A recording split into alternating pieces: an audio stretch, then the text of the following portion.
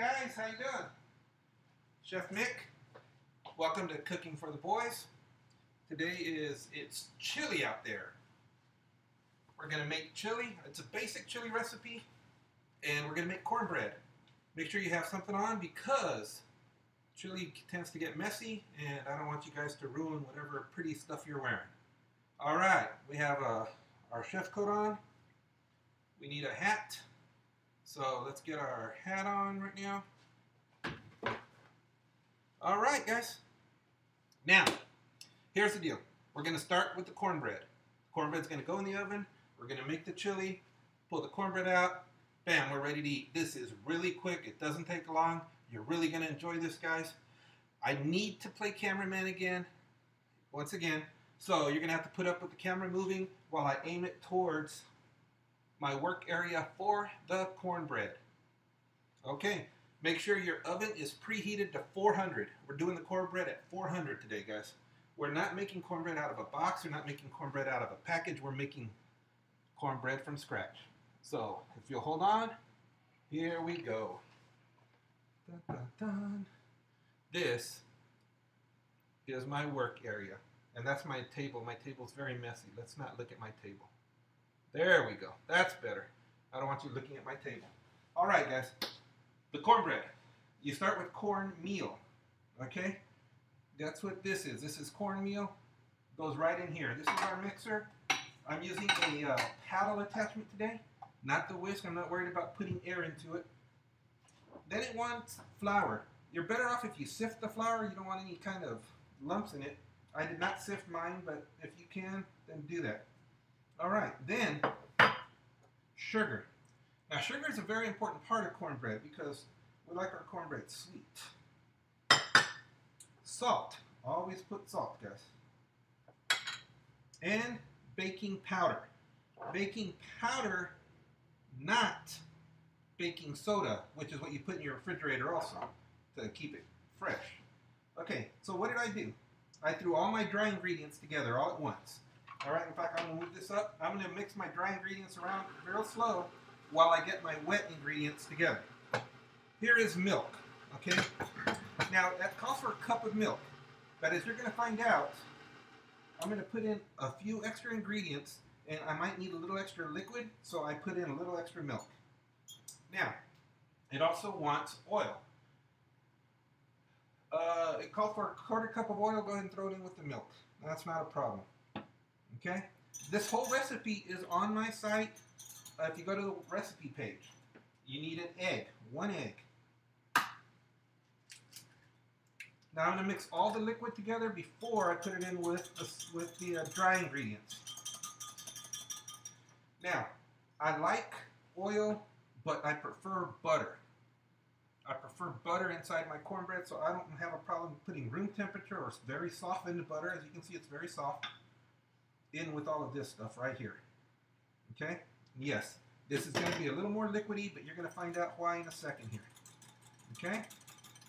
So all of this is together here. And then we're going to put it all over here. Mix it real nice and slow. We don't have to throw it in all in at once. Let it go in. And all we're going to do with this, guys, is make sure it mixes really well. That's it. This is basically ready to go. Once it's mixed really well, it's ready to go. But I like to throw corn into my cornbread. Actual corn. You can use cream style corn, but I like to throw in whole corn, whole kernel corn. Wow, that's like a tongue twister, like a rubber baby buggy bumper. Whole kernel corn. I don't need any more liquid. So I want to drain this stuff, okay? I want to drain it. I don't need the liquid that comes with it. So let's drain that. And I don't need a whole can of corn in there. I really don't. You know, I just want to throw some of it, maybe half of the can. Mix it up. That's why I use the extra liquid. That's why I have a little extra milk. I have the butter in there. And then this are fresh jalapenos, red and green. Well, the red and green, they're both jalapenos. The red one's just been sitting out longer. And I'm going to make a little bit of jalapeno cornbread today. So let's throw that in there. All right. Now, as that's mixing, I'm going to get my pan. Today we're using a, hold on. Today I'm going to make them in little muffins. If you're going to use a little muffin, you don't need to cook it as long. It's going to cook quicker. But you still need to spray it down. You still need to spray it down. I don't know if it's going to fill up all of them. So I'm just going to spray the first few of them. And then I'm going to take this off. Take this off. You can see it, it's very liquidy. If you don't if you don't like the consistency, if you think there's too much liquid, add more flour. If you think uh, it's too dry, add more liquid. It's very, very simple. Okay?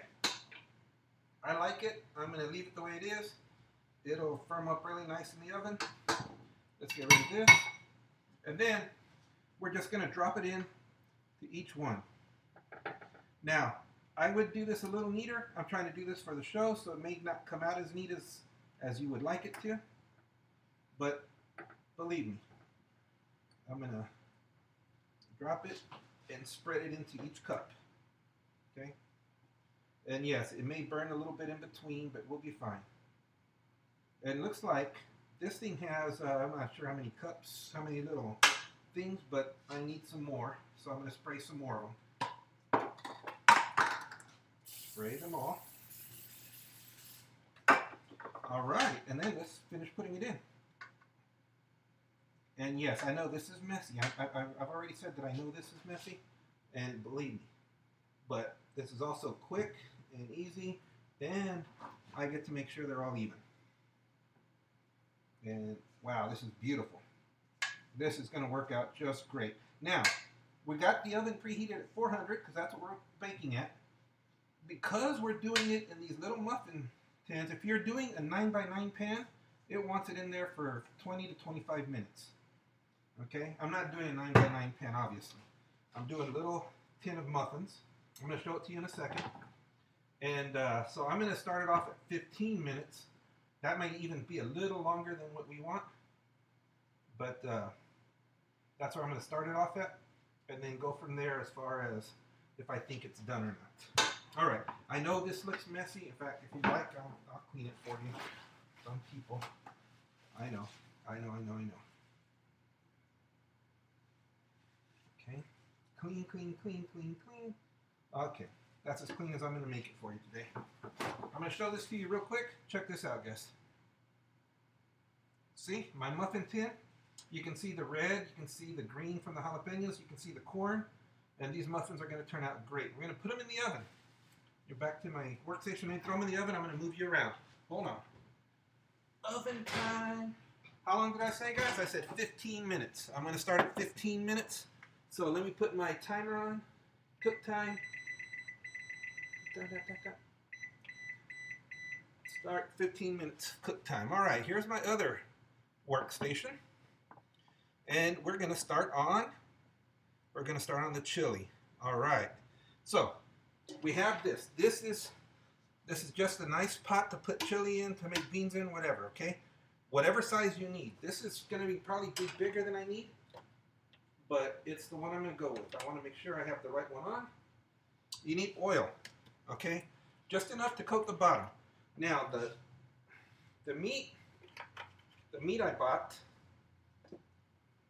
the meat I bought, and let me see if I if you'll see it when I put it out here. Ground beef, ground turkey. I don't have ground pork because the store did not have ground pork, and I wasn't going to ground my own right now. So ground beef, ground turkey, they go in at the same time. The beef is an 85 15, so it's got 15% fat basically. So it'll have enough fat on its own, but I wanted to make sure I had oil in there because the turkey comes with no fat that's so if I don't have oil in there, the turkey's going to stick to the bottom and burn. All right, so you can mix them if you want to mix them together here, like you would if you were doing if you were doing a um, a meatloaf. That's cool. Okay, but when you put them in there, you're going to break them apart anyway. So, but this way, you, you know, there's a little more mixing. What I have is basically almost a pound of each. Now, there's only two of us, so that's way too much food. Okay, we probably could have gone with half a pound each, but what I'm going to end up doing is uh, I'm going to end up, after it cools, I'm going to end up freezing some of it. So therefore, making extra doesn't bother me anymore. Okay? Now we gotta get this brown. We gotta get it brown. We have cornbread in the oven. We're browning the meat. Then as we're browning the meat, even though I want the meat a little more brown, I don't want the meat already well done. I'm not trying to get the meat cooked to make tacos out of it. So I don't want to wait here and cook until the meat is completely brown. So then we throw in onion and garlic. Remember, the garlic I use that jar. If you want to do your own, that's fine. Onion I cut up, and they go in here. Onion and garlic. While the meat, before the meat is completely brown. Okay, mix it in here. Let's get that stuff going. And already it smells like something we want to eat.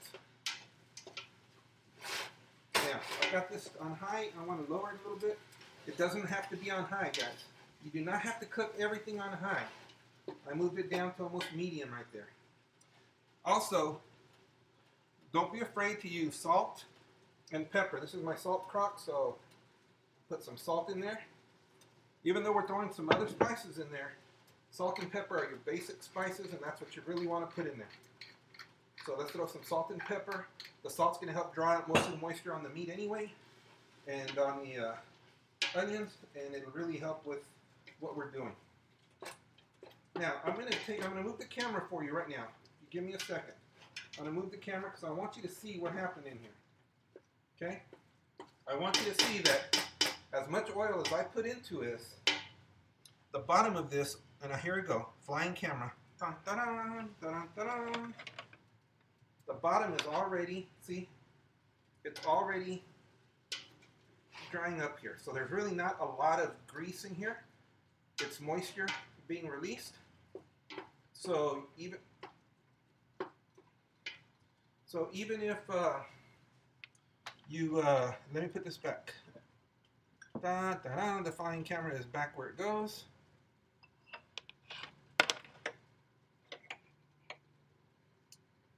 Okay, the the flying camera's back where it goes, and uh, we'll go back to this now let's talk while while this is still browning a little bit, and I may have lowered it a little too much. Let me go a little higher. Let's talk uh, spices. Okay, this is a chili powder, basic chili powder. That's a good spice, but the spice that really makes chili is this right here, ground cumin, comino, ground comino, ground cumin. This makes the chili this might heat it, but this makes it taste good. Now, you may see something like this, which is a chili mix. It comes with different seasonings already in it. There's nothing wrong with this. But this is them telling you how to make it. So I don't use it. I tell you how to make it. Now, if you want extra pop, don't be afraid to throw in some crushed red pepper. It really, really adds pop to it. It's a different little taste, but it's not enough to throw off everything. So let's start with comino do not be shy on the comino, on the cumin. Don't be shy. There's no need to be shy. Okay? We want a good amount in there. We want all the meat to get it. We don't just want a little part of the meat to get it. We want all the meat to get it.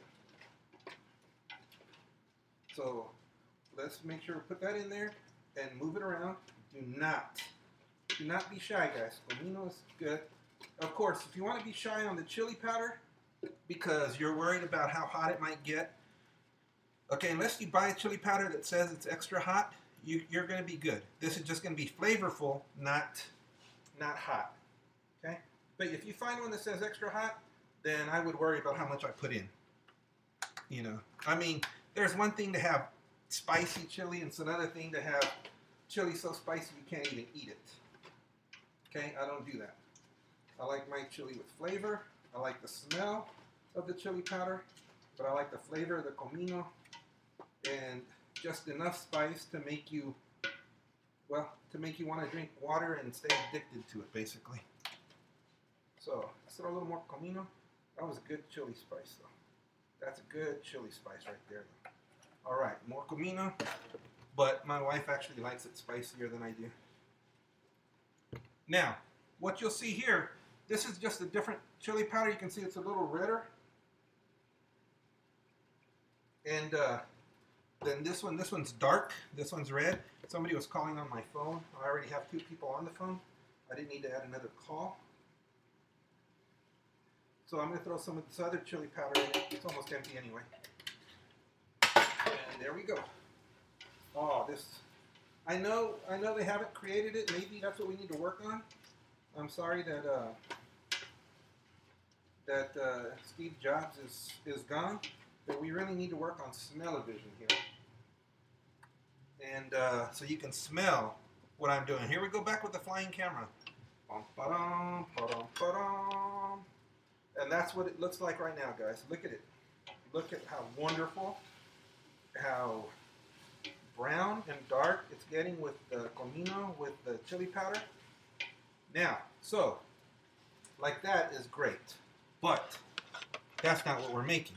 That would make a decent taco or something. So now let's talk about this. This is tomato sauce. Now we're throwing tomato sauce down here, in here, and we're going to use a whole can of this tomato sauce, okay, to help add to the flavor. This tomato sauce has some salt in it, but it doesn't have any sweet to it, okay? So don't expect it to be sweet because you put that tomato sauce in there. It's not. If you want sweet, you can throw in sugar. If you want really sweet, you can throw in uh, ketchup. I'm not going to do those, either one of those right now. Okay, but I am going to fill this with water and drop a little water in here. Use the rest of the sauce, clean out the can, put a little bit of water in there. And then I'm going to put in whole peeled tomatoes. Now, whole peeled tomatoes, let me pull one out for you, is exactly what it looks like. It's a whole tomato. They've been peeled, but they've also been stewed, so they come fall apart pretty well. And they add great texture and great look to your chill, and also great flavor. Now, you can take your knife, or you can take your in this case, I have a special in here anyway. Uh, and you can break these tomatoes in half, cut them in half, and, and you know, stomp on them a little, chop them up a little bit. And then you have parts of the tomato, the inside of the tomato just floating around. You have, you know, parts of it all smashed up. It looks great. It looks great. It smells great. Okay, now we just want that to go. Now, right now, is the perfect time, right now is the perfect time to figure out, do I need, do I need more spice? Is it hot enough? Okay, the meat is cooked, we have we added tomato sauce. When we add kidney beans, we're not changing the flavor of it. So let's taste it now. That's delicious, but I want it hotter. So I myself ah, you know what? You know what? I'm going to do what I told you guys. Crushed red pepper. Make it a little bit hotter. Okay? Now the crushed red pepper you don't really need a lot of. That'll really make it nice and hot. Okay? Crushed red pepper, some extra chili powder. But uh, the taste right now is a nice mild chili. And if you like it, you know, if you feel, oh, maybe I need some more salt, then put more salt. If you feel like you need more of anything, put it in there. But right now is the best time to do it. Okay? Right now is the best time to do it. Now, I'm going to show you something. And this is something, you know, that some people just don't understand. You didn't see me add, here's the flying camera, you didn't see me add a lot of liquid. You know, I added the tomato sauce and a can, the small can of tomato sauce the small tomato sauce can full of water. Okay, so there's this is fairly liquidy as it is. Okay, if you want more liquid, that's not a problem. If you want it more liquid, that's not a problem. Hold on. Here it goes back. There you go. If you need to add more liquid, then add some chicken stock or some chicken broth. Okay, I'm not going to because I don't feel like I need to. I think it's got enough. If you think, oh, this is too liquidy, you want it thicker, then as it's cooking down, make sure you add a little bit of, where is this? Make sure you add some cornstarch. If you think it's got too much liquid, throw cornstarch in it. Okay? The cornstarch, as it's heating up, will uh, will thicken it. Okay? I don't. I like it the way it is right now. And uh, now, because of that, I'm adding beans. There is a huge debate, and I'm not going to get into it. That if it, is it really chili if you put beans in it? Okay. Most people will tell you, at least the people at chili cook-offs will tell you, you don't put beans in chili. I put beans in my chili. Kidney beans is what I like, dark red. You can put white beans, you can put pinto beans. You can cook them at home and add them yourself, or you can buy them in a can like I did. I bought them in a can, but I also drained them. I don't need this liquid from the beans in there. I drained them. And then I'm going to add the whole can. And there you go. I, I like chili with the beans in them. But now, so what are we going to do now? Okay, well, it needs to heat through. Not just the chili, not just the chili powder, but the beans need to heat up. It needs to sit here and heat all the way through. So we're going to leave it here for a few minutes as it heats. we have two minutes left, but we're going to check our cornbread before the two minutes is up. You know what? Let me show you what my cornbread looks like. I'm going to take another flying camera. Dun, dun, dun, dun, dun, dun. Cornbread looks like that. Now you can see how it's nice and cooking through. You can see it separating a little bit at the top of each one. And uh, that means it's going to cook all the way through probably in those 15 minutes. And that looks pretty good, guys. The cornbread looks really good. I'll pull it out in a minute. The chili is cooking up really nice. It needs to heat through. That's all it needs to do. And if you wanted to do anything else, you can you can add you can add uh,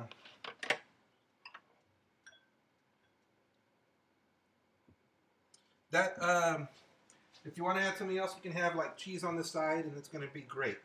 Again, uh, a lot of people, and if you go to like these giant chili cook-offs, they're going to tell you chili does not have beans, and they will not. You know, if you make a chili with beans and try to enter it into these big cook-offs in Texas and stuff, uh, they're not going to accept it. You're going to lose automatically.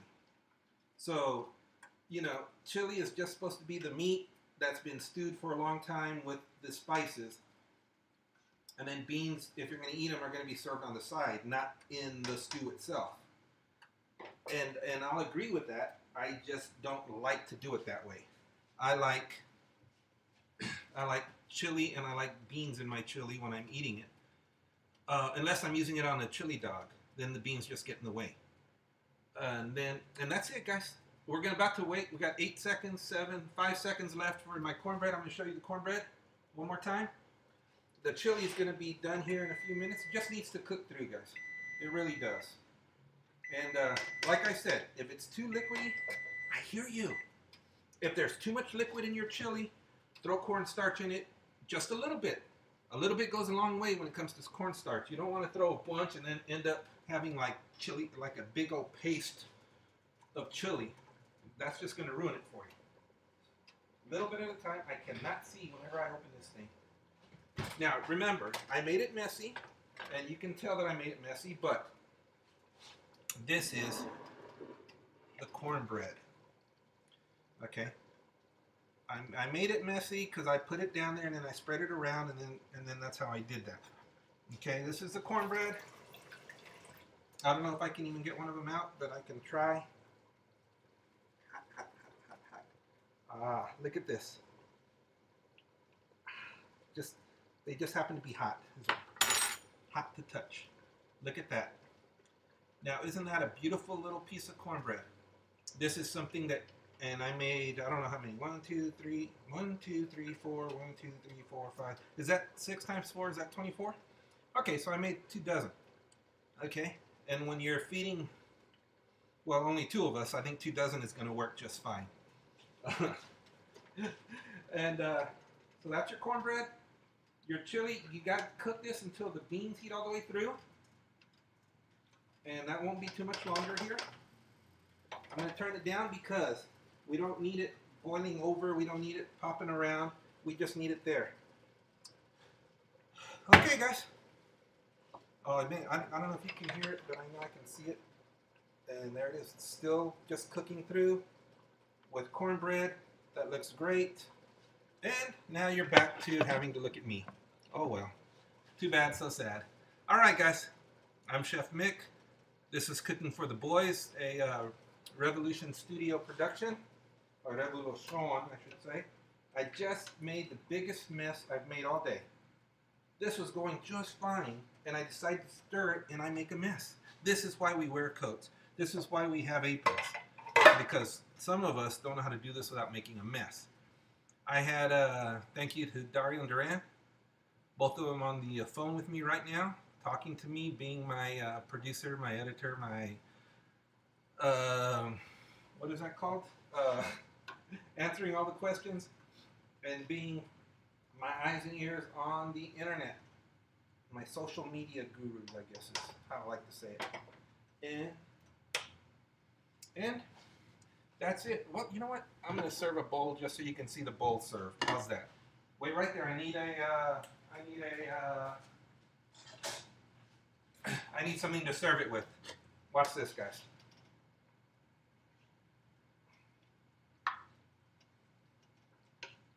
Now this, again, I was asked earlier, why would I just make a basic chili recipe? Why am I not doing something more elaborate? Because I believe that teaching you this will help you make up your own mind on how more elaborate you want to get. Do you want to do it with just turkey? Do you want to do it with turkey chili? Or chicken chili or, you know, just pork? Do you want to use more? Do you want to add extra things? I'm showing you the basics. This is cooking for the boys. I want everybody to be able to cook the basics, and uh, we'll go from there. All right, I'm Chef Mick. This is Cooking for the Boys Live. This, and let me move the camera for you. This is chili and cornbread. And this is going to keep us warm. This is wonderful. This is going to be, first of all, it's delicious. Second of all, it's nice and warm for these cold weather days. And uh, remember, I'll be back next Wednesday, uh, remembering Pearl Harbor. We're going to do so, some more Hawaiian cooking, but not the same, um, not the same kebabs and stuff that I did. Uh, it'll be a mahi mahi tuna uh, with um, a nice, maybe a mushroom risotto, uh, maybe some asparagus. We'll we'll figure it out. It's gonna be it's gonna be you're going to go from this, which is a very basic, to something that's very nice and, and much more elaborate. If you know how to cook, guys, you can marry for looks. If you know how to cook, you can marry for looks. I'm Chef Mick. This is Cooking for the Boys. Thank you all for joining. Thank you for interacting. We love you guys. Bye.